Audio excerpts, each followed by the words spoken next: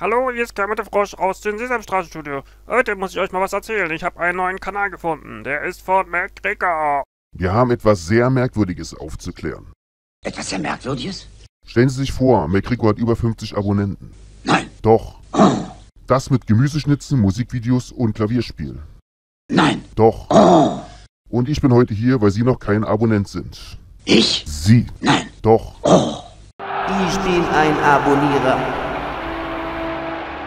Das Bewusstsein für einen guten Kanal ist nach wie vor ungebrochen. Der Kanal von MacGregor Art. Ausgangspunkt für diesen konstruktiven Kanal ist natürlich auch die wunderschönen Ernährungstipps, die sehr gut für uns alle und vor allem auch für etwas mummelige Menschen geeignet ist. Ja, ich freue mich, gerade auf diesem Kanal das so zu sehen. It's going to be only make Rico art first.